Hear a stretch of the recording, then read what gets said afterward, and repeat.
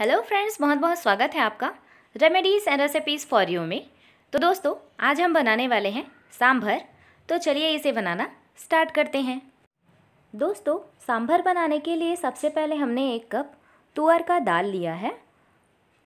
और हमने यहाँ पर थोड़ा सा लौकी और थोड़ा सा कद्दू लिया है, जिसे हमने पीसेस में कट कर लिया है। तो तुअर दाल को धो करके सब्जियों को हम इसमें डाल देते हैं और कटे हुए टमाटर को भी हम इसमें डाल देंगे।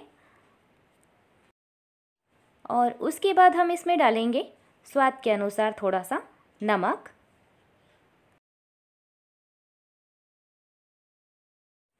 और एक चम्मच हल्दी पाउडर।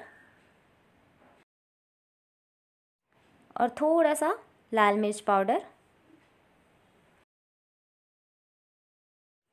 और अब मैं इसमें डाल रही हूँ एक से डेढ़ ग्लास पानी। और अब हम कुकर का ढक्कन बंद कर देते हैं और इसे गैस पर रख देते हैं पकने के लिए।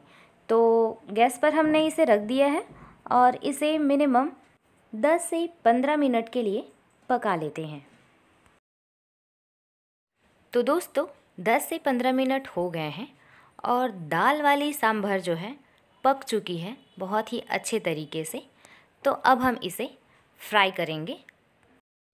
तो दोस्तों, कढ़ाई हमने गैस पर ऑयल डालकर ऑलरेडी चढ़ा रखा है और ऑयल हमारा गर्म हो चुका है। तो इसमें मैं डाल रही हूँ एक चम्मच जीरा और एक चम्मच सरसों और चार से पाँच चॉप किए हुए लहसुन की कलियाँ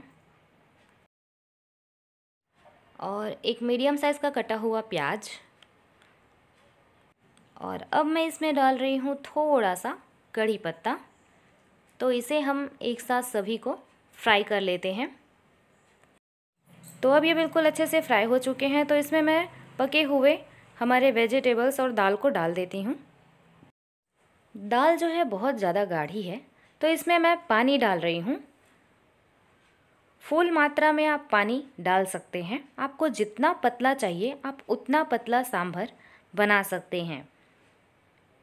दाल वाला जो सांभर होता है, वो बहुत ही हेल्दी और पौष्टिक होता है। तो दोस्तों, अब मैं इसमें डाल रही हूँ दो से तीन चम्मच सांभर मसाला। और इस मसाले को बहुत ही अच्छे तरीके से हम इसमें मिक्स कर देंगे। और आप इसमें टेस्ट के अकॉर्डिंग थोड़ा सा नमक और डाल सकते हैं। जितना आपको चाहिए आप टेस्ट करके आप इसमें नमक ऐड कर सकते हैं। सांभर को हम थोड़ी देर उबाल आने तक पका लेते हैं।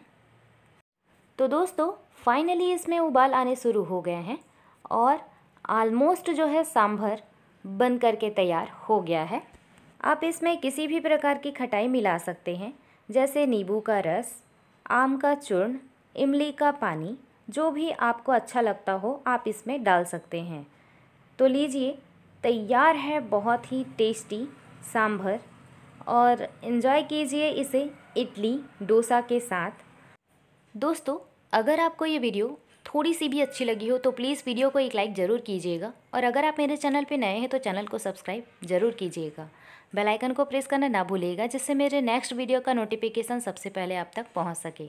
तो मिलते हैं नेक्स्ट वीडियो में। तब तक के लिए धन्यवाद।